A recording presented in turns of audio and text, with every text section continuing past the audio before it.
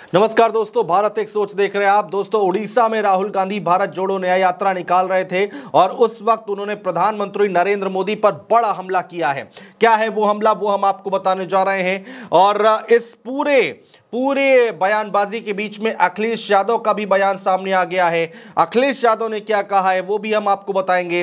अखिलेश यादव ने राहुल गांधी का सपोर्ट कर दिया है और अपने बयान के ज़रिए राहुल गांधी का सपोर्ट करते हुए दिखाई दिए हैं अखिलेश यादव। सबसे पहले आपको बताते हैं कि राहुल गांधी ने क्या कुछ कहा।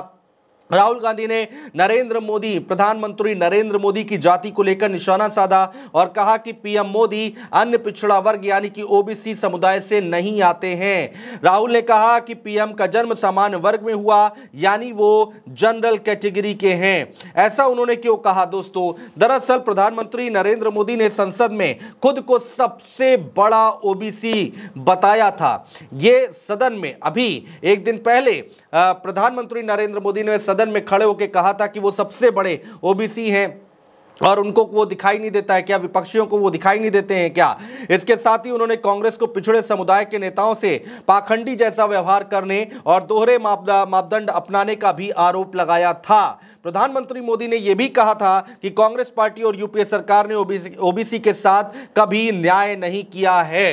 तो दोस्तों उसके बाद जब उड़ीसा के झारसुगुड़ा में लोगों को संबोधित कर रहे थे राहुल गांधी उस वक्त उन्होंने क्या कहा? एक एक करके वो हम आपको बयान सुनाते हैं। और प्रधानमंत्री नरेंद्र मोदी पर राहुल गांधी ने बड़ा हमला किया है। अखिलेश यादव ने कैसे राहुल गांधी का सपोर्ट किया है ये भी हम आगो, आपको आगे बताएँगे। लेकिन पहले राहुल गांधी के बयान की चर्चा कर लेते हैं। राहुल गांधी ने कहा कि जब भी कोई भाजपा कार्यकर्ता आपके पास आए तो उसे एक बात बताएँ कि हमारे प्रधानमंत्री ने पूरे देश से झूठ बोला है। राहुल गांधी ने कहा कि कांग्रेस सांसद राहुल गांधी का कहना है कि पीएम मोदी का जन्म ओबीसी वर्ग में नहीं हुआ था। और गुजरात की तेली जाति में पैदा हुए थे।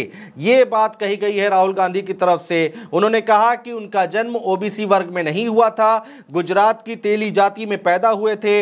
इस समुदाय को साल 2000 में बीजेपी ने ओबीसी का टैग दिया था। उनका जन्म सामान्य जाति में हुआ था।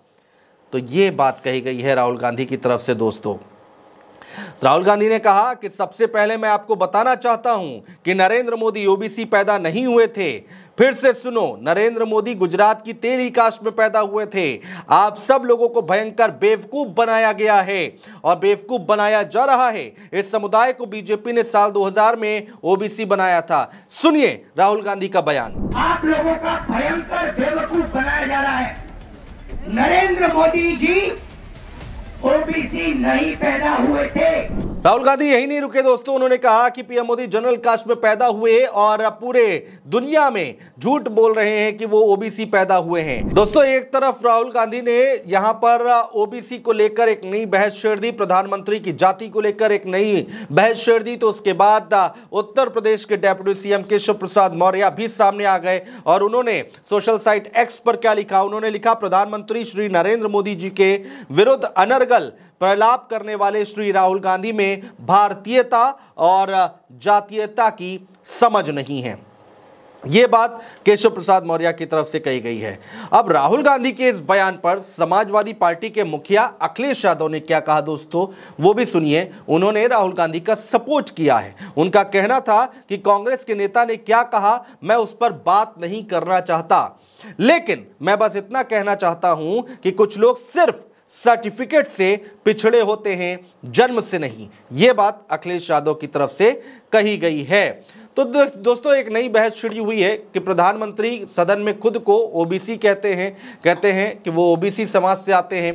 कांग्रेस के हमारे साथियों को आजकल इस पर बहुत चिंता जताते हैं कि सरकार में ओबीसी कितने लोग हैं, कितने पद पर कहा उसके हिसाब किताब करते रहे लेकिन मैं हैरान हूँ, उनको इतना सबसे बड़ा ओबीसी नज़र नहीं आता। राहुल गांधी कहते हैं कि नहीं गुजरात में गुजरात सरकार ने साल 2000 में उनको ये तबका दिया था वो जन्म से जनरल कैटेगरी के हैं जन, जनरल जाति के हैं सामान्य वर्ग से आते हैं लेकिन बाद में सरकार ने गुजरात में साल 2000 में उस जाति को ओबीसी जाति में डाल दिया था। अखिलेश यादव कहते हैं कि यहाँ कुछ लोग सर्टिफिकेट से पिछड़े होते हैं, लेकिन जन्म से नहीं होते हैं। तो राहुल गांधी और अखिलेश यादव दोनों प्रधानमंत्री नरेंद्र मोदी की जाति को लेकर बहुत ज़्यादा यहाँ पर मुखर दिखाई दे रहे हैं, बहुत ज़्यादा एग्रेसिव दिखाई दे रहे हैं। बहुत शुक्रिया दोस्तों।